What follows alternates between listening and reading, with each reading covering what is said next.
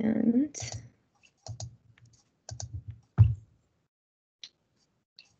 okay. All right, so we are now recording. Um, welcome to the ALG Featured Speaker Series March presentation.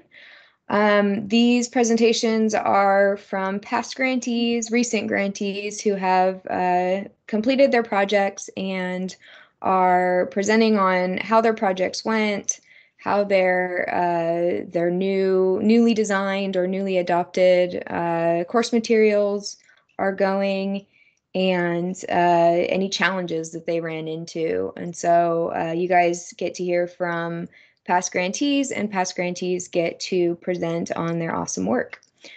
Um, so this month, today, we are hearing from Dr. Dolo at Savannah State University on his and Dr. Mucci's uh, course, their college algebra course in the Department of Math. Um, and they adopted an OpenStax textbook for their course. So this will be our first featured speaker presentation that involves an OpenStax textbook, and that was a straight textbook adoption.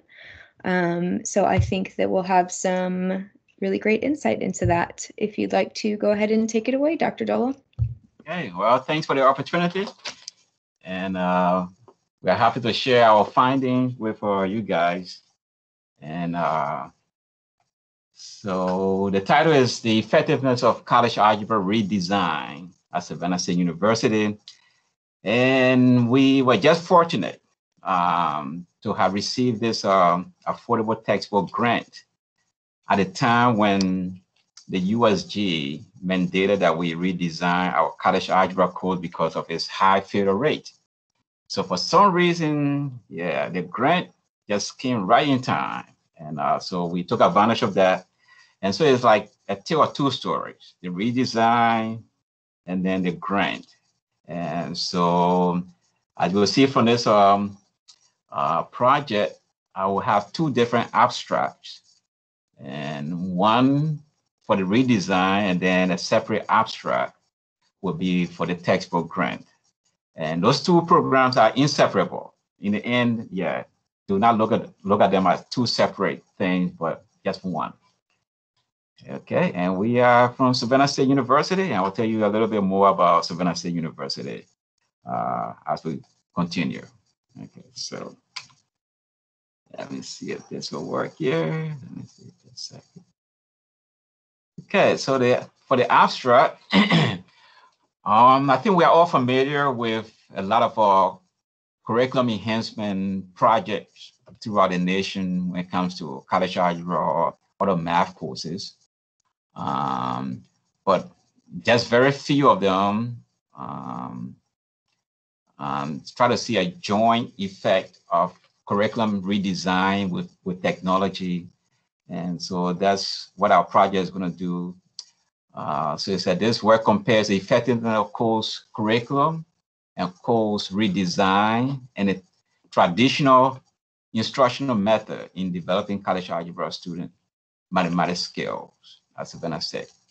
Um, so for the course redesign, we are just going to call that CCSR, and then for the traditional method, it's just going to be TIM. Uh, those will be the acronym that we'll be using. And so the results have shown moderate increase. We did a pilot program and the results show a moderate increase in student comprehension. And they also dropped the uh, failure rate, which was the most important charge given to the committee. And so that's the uh, uh, program I want to share with you guys. Uh, and I would like to give some background information first. Um, so the semester was for 2018 through for, I mean, spring 2019. And the pilot program have been doing this uh, the, these two semesters. And just a little background about Savannah State. So it's historically black university one of three USG Access University, and it's located in Savannah, Georgia. And when we're given a charge to redesign the schools, in, in fall 2018, we had 22 sessions of college algebra. And So 648 students were enrolled. And for the pilot program, 93 of the 648 students were enrolled in the pilot program. Okay, and then the following semester, in fourth semester, we always have an increase in enrollment. In spring semester, it kind of, you know, reduce. And that's when we have increase in enrollment for pre-calculus because from college algebra they go to pre-cal. Uh, so in spring, we only have four sessions with 134 students enrolled and six of those students were in the pilot program. Okay. And so the background statistics, so what led to this uh, mandate from USG for, for us to redesign the schools? Um, it happened prior to fall 2016. So I think USG must have been looking at all the data from 2015, 2014, and they realized that the university needed to do something about it. So if you look at the data from fall 2016, uh, 1,031 students were enrolled in college algebra, and the failure rate there was 36. If you just consider the D's and F's, but if you take into consideration I, incomplete grades, that number jumped to 42%. So it's above the 40 threshold. And then in spring of 2017, the enrollment was 452. And of course, this was what pre-pandemic time. So, uh, and the failure rate uh, in spring of 2017 was 39%. And so based on this, um, we, the Department of Math was, you know, asked by the Dean of the College of Sciences and Technology to redesign the schools. Um, and so what was the motivation? The motivation there was the high failure rate, okay?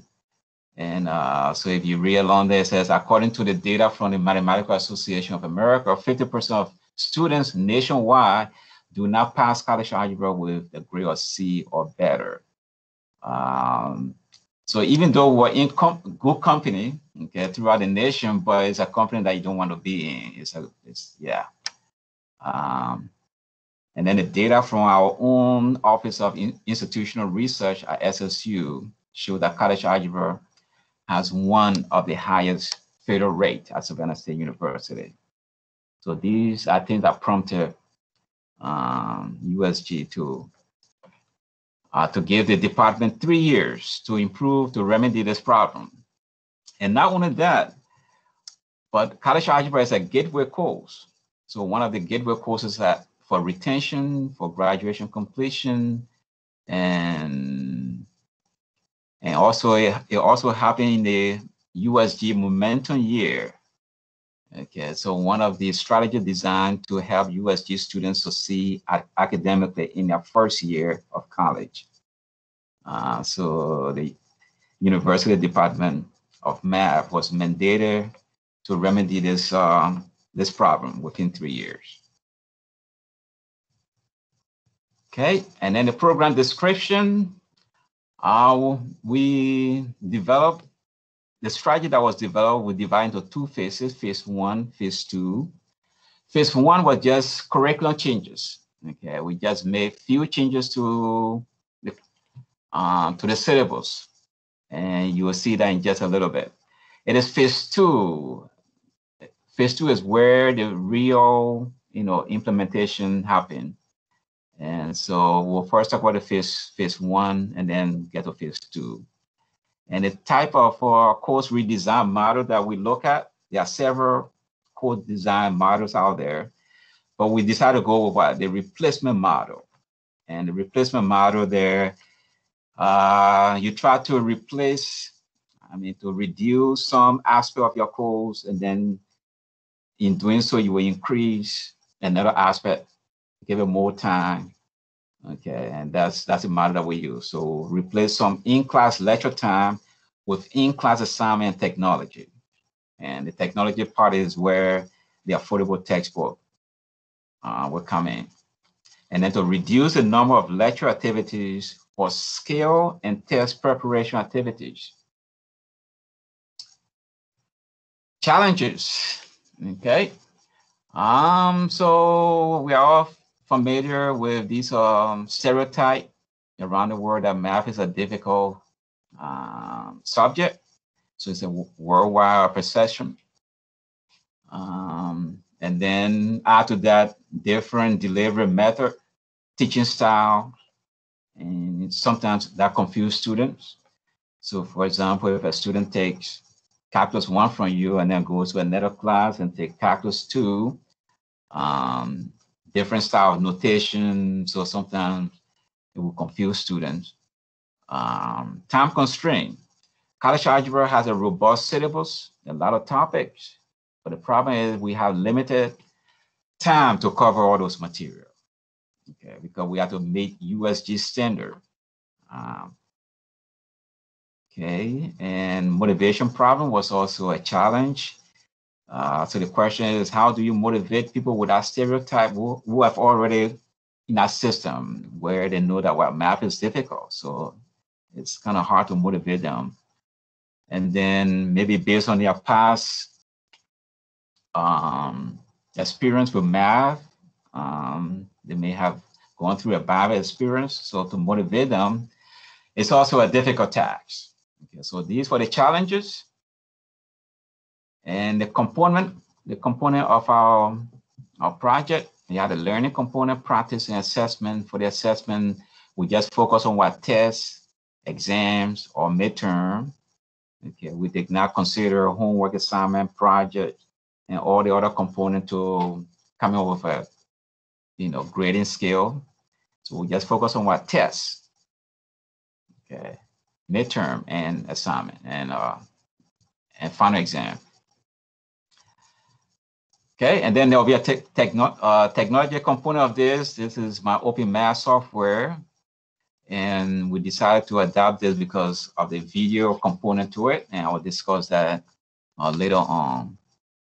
Um, and then the teacher role is just to teach a big topic. You focus on a big topic and then spend a lot of time in what lab and uh, in-class assignment activities. Okay, so there were some constraints. so one of the constraints, we devoted two 50 minutes class time. Okay, so two class time, we devoted that to what? In-class assignment and technology. And one 50 minutes period, class period, was also allocated for individual in-class assignment.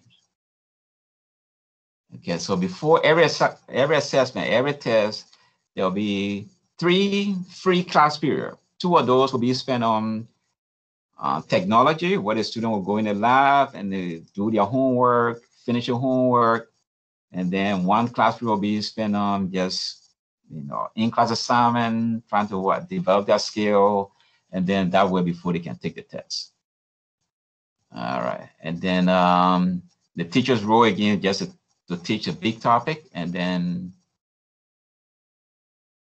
and then leave the rest with the students.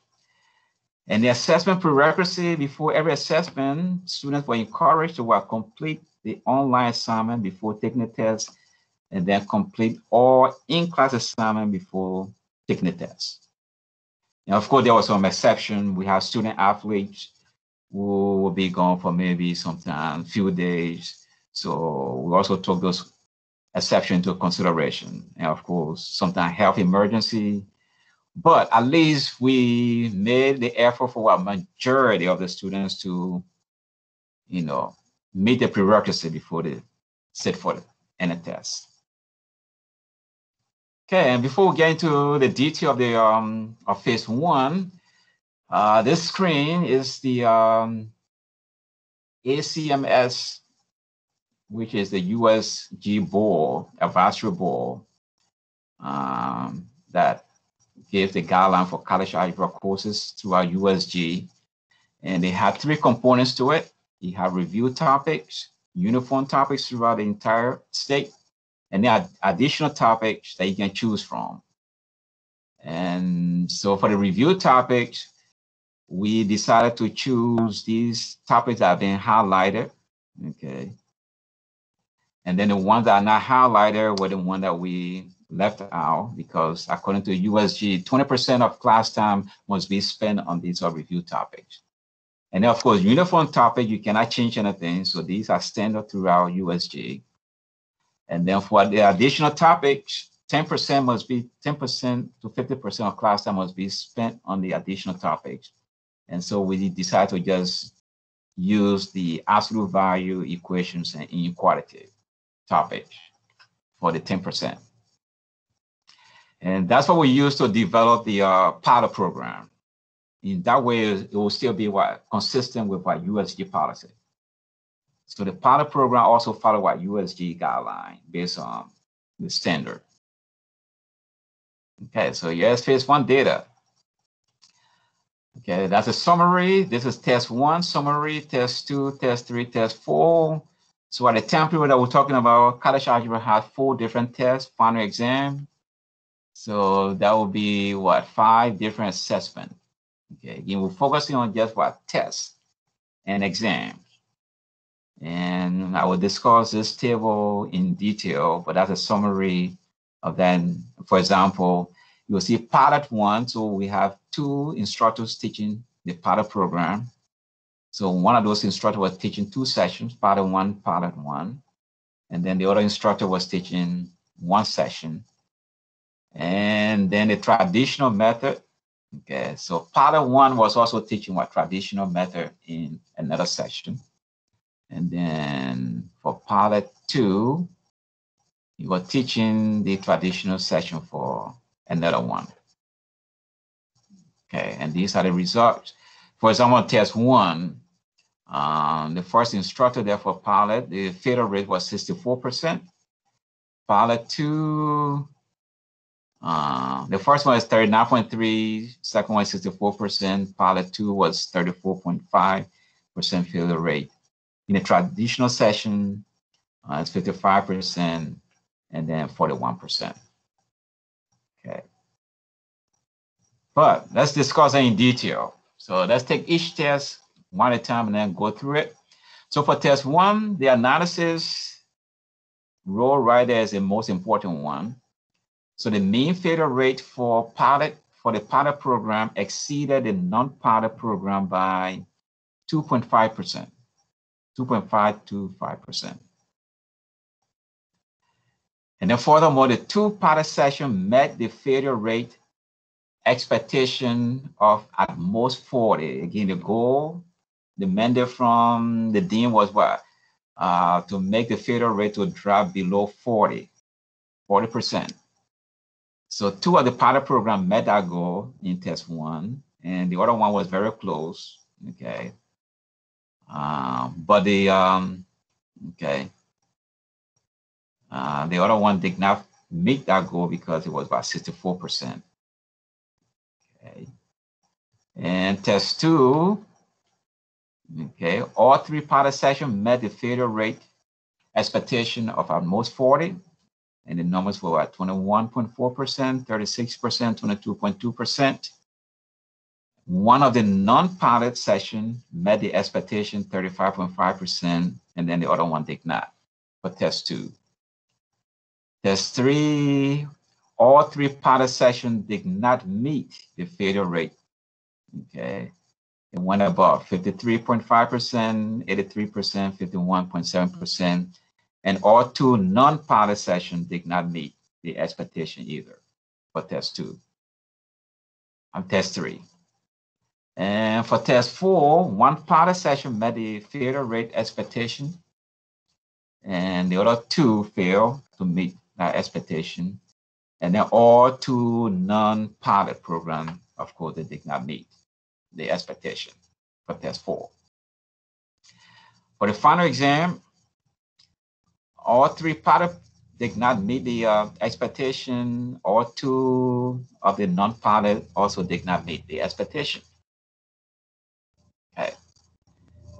And then for the grades that was submitted, through the university system platform for submitting final semester grade. Okay, remember, we are just focusing on what tests and exam. We are not taking into consideration uh, homework, assignments, and um, projects and so forth. Uh, but in the final analysis there, all three pilot programs met the failure rate, okay? And then all two non-pilot programs met the failure rate as well it, when it came to submitting the final grade for the semester. Okay, again, phase one was just what? Tiny little change, which was what? Curriculum. Okay. Drop some topics, drop us some topics, and see what the result would be. And so what it was just a minor change. The major change would now take place in phase two. So phase two analysis, which is the course delivery redesign. Phase one was what? Curriculum redesign. So course delivery redesign is phase two. And so for phase two is where the uh, affordable textbook comes in. And so we have a different abstract for that, just to make a point. And so we'll start with our Randolph and three other guys who wrote a report. They were part of a, a textbook or task force. And in their findings, they survey a lot of students and they found that what 30, 37.1% indicated that what their academic career at some time, at some point, they did not purchase required textbook due to cost. 11.7 indicated that they did not register for a specific course due to high cost of textbook. 7.8 drop out because of textbook. 6.6 earn pro grades as a result of textbook costs, and then 3.4% indicated that they had taken fewer courses due to uh, textbook costs.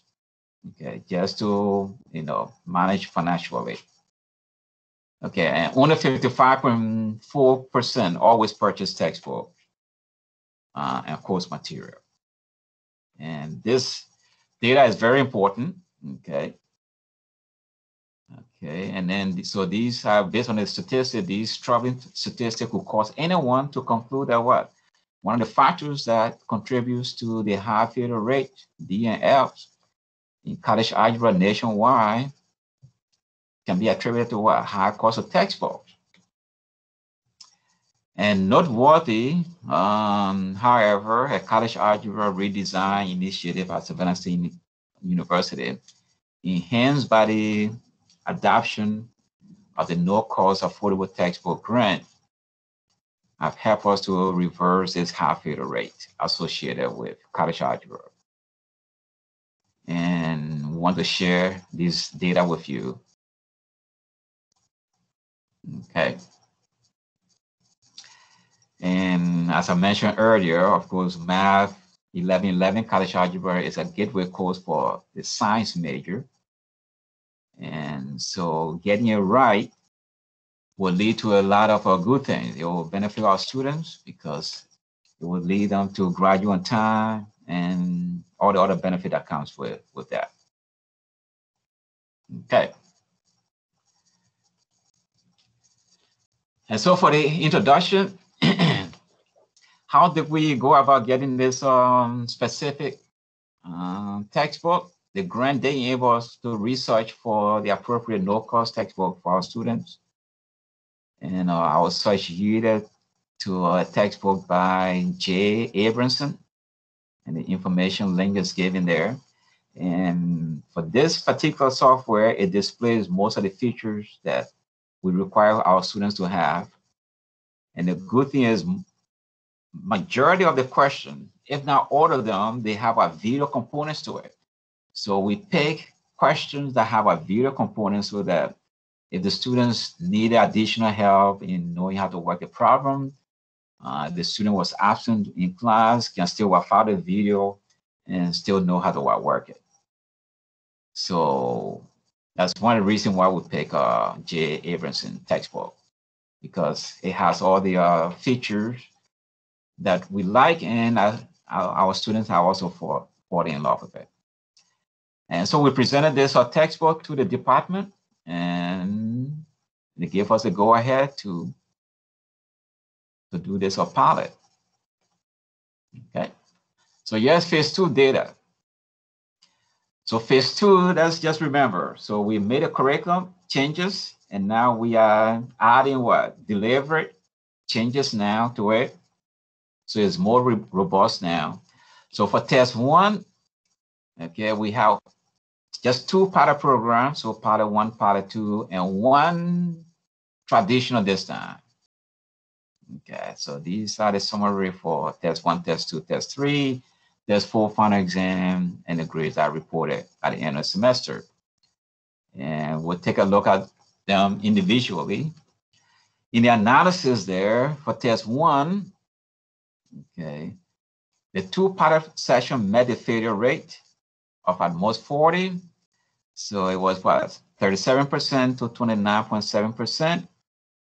But the uh, non-pilot, the traditional session failed to meet the uh, expectation, which was about 46%. It's still above the 40%. Test two, the two pilot session met the expectation, but the non-pilot session failed to meet expectation. Test three, the two pilot program did meet the expectation. Um, the non-pilot did not Okay. In test four, both pilot program met the failure rate expectation. Um, the non-pilot did not meet expectation. Final exam, okay. In the final exam, both pilot met expectation. The non-pilot session also met expectation for the final exam. And for the overall semester grade, both pilots met expectation and the non-pilot also met expectation. So lesson learned and recommendations. So after looking at all the data, we compile our recommendation. Um, and the recommendations are as follow? We recommend uh, we strongly recommend uh, the um, for institutional reform okay which we knew was not going to happen. And our recommendation was okay one of the things that we can do would be what? To increase the credit hour from three to four. So increasing it to four then there will be what? Four i mean three class period for just lecture and then one class period just for you know, skill development and technology. And of course, we knew that was not going to work because it would take a lot of, you know, uh, effort to come up with that. Because that's why increasing the um, the credit hours for the course, and then we were told that some um, it will run into a USG policy because Scottish algebra should just be for three credit hours, so increasing to four, there will have to be some changes made somewhere, and they were not in a position to do that. Okay. Another recommendation: increase in in uh, technology facility. Okay, computer labs. Uh, we don't have a lot of computer labs in the math uh, building, so that was one recommendations. Um, and then another recommendation: reevaluate test three and test four. These were yeah, these are hard tests, and those are the ones that have high failure rates. And according to the USG standard, those are uniform topics. Those are the topics that every uh, university is covering. So, and the results there are not too favorable. And and then the other recommendation was about decrease the number of what tests per semester from what four to three, and that's the only one that makes sense. And so when with uh, this recommendation, so decrease the number of tests from four to three, and then we'll use the additional period now to what, you know, ramp up our in-class activities, our computer activities, and that's what the replacement model, you know, also suggests. And then, so we, pre we presented this to the department, and uh, the department agreed with our three tests now instead of four tests. And so with did pre and post course redesign data analysis. And this is very important. So due to the moderate success rate of the pilot program in fall 2018 and spring 2019, the course redesign committee strongly recommended and the math department adopted and implemented the committee's recommendation since fall 2019. And the result for DF rates are summarized in the following. So we did semester by semester comparison. For the fall semester, we decided to go with sp spring 2017 for the pre-redesign time. Okay, for the pre-redesign era, we chose our spring 2017. There were 452 students enrolled, and then the failure rate in that semester was 39%. And then for the post redesign, we went with 20, spring 2020, which had 119 students. And the failure rate with this new program now is about 15% and that's the spring semester comparison. For the fall semester comparison, okay, we did two pre-redesign and then two post. We went with fall 2016, fall 2017. In fall 2016, we have 1,031 students, 36% failure rate. For 2017, 727 students enrolled, 24% failure rate when it comes to the post redesign error, um, for 2019, 413 students enrolled, 16% failure rate, way below the 40% that we were mandated or charged to, to, to look out for. And then for fall 2020, just last semester, 389 students, 17% failure rate. So in conclusion, the results from phase one and phase two of college algebra redesign show a slight and a moderate increases respectively in student comprehension and engagement. In terms of the course five major assessment tools, the data indicate that on average, the course failure rates decrease. Okay. Okay, decreased by about 5.31% for phase one. And phase two is what we are encouraged by, which is about 34.29% for phase two. So due to the moderate success rate of the pilot program in fall 2018, spring 2019, the course redesign committee recommended to the department, and the department has since implemented the committee recommendation. And we are happy to report that as of now, we are still, the, the, uh, the trend is still going down. We are not sure how long that will continue. And with the pandemic, um, the good thing about you know the pandemic time is that our students now have this or free software and they can do their homework. The teacher can just assign homework with video component to it, and uh, they are able to do it at a distance. So, and so these are some references, and um, want to acknowledge two people. Actually, one, the first one, round 15 of the Affordable Learning Textbook Transformation Grant. It came in just in time and yeah, thank you guys for giving us this opportunity. Uh, it gave us the exposure to uh, come up with something that, you know, just tie into what we were doing at that time. And at one point I was thinking, I said, maybe I think Jeff knew that we were doing redesign, so they gave us this grant for that purpose. Well, I'm just kidding. But it just came in time. It just came in right in time. And, uh, you guys had a great proposal. That's what that's what did it. I know, I know. Uh, but I want to thank you guys for giving us that opportunity. And uh, we also have other courses that we are looking at. And uh, and we also want to thank the uh, math department. These were people on the committee that helped us to set up the phase one redesign and phase two redesign. Okay. And are there any questions?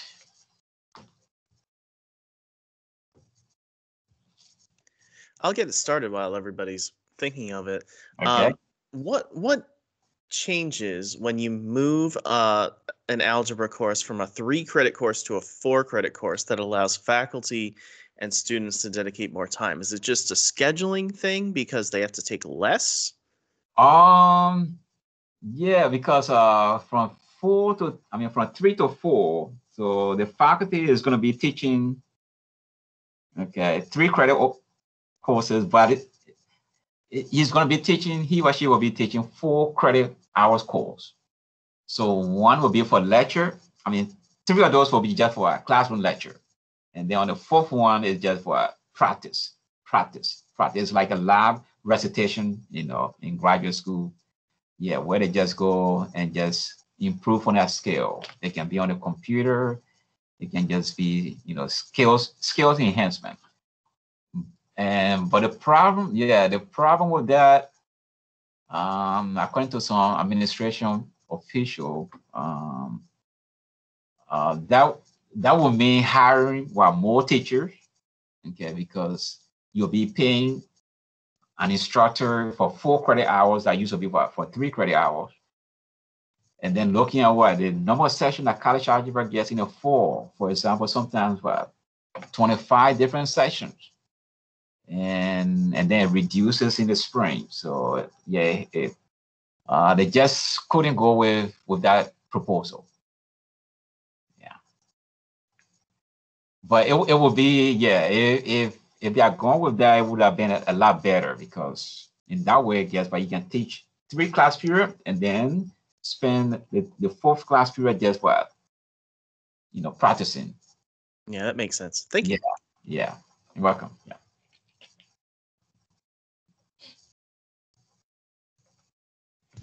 Do we have any other questions from our audience? This was a great presentation presentation. Thank you.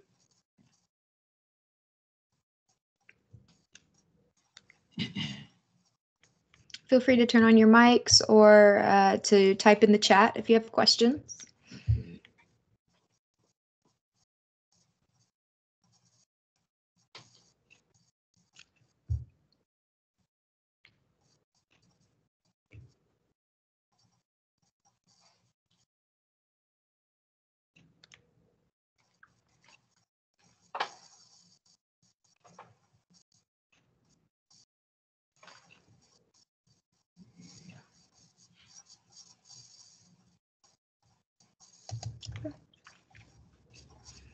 Uh, well, Dr. Dolo, would you uh, would you like to share your um, contact information so that if anyone uh, has questions, they can email you or? Yeah, sure, sure.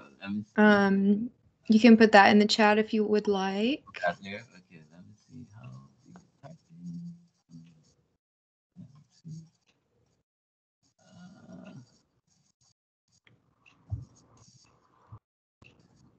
Okay. And if we don't have any other questions, um, I think we can uh, go ahead and and and you know say thank you. Thank you so much for uh, presenting with us. Um, thank you for giving us all this additional information. Um, I was I was messaging Jeff um, at one point during the presentation that I I had uh, I hadn't realized when I invited you to present the connections that your project had to so many other things like uh, Complete College Georgia and the Momentum Year and um, all these curriculum changes. And so there's a lot that we can learn from you. Um, and and I also had not considered that uh, Savannah State is an HBCU, and so that is also something um, you know so, something else to learn from, and and how these projects affect that. So. Um, this was great. This was this was a good pro- good presentation. We've got a couple of people typing in the chat. Okay. It looks like.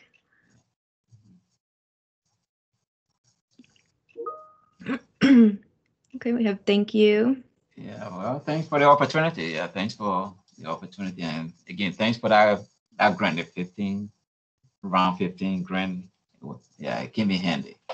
Yeah, yeah, it was we love hearing from these projects. Um, and yeah, this was great. There's a lot of data here. Um, so thank you. Thank you so much. All right, Um, guys, yeah, thank you. I'll go ahead and stop our recording now.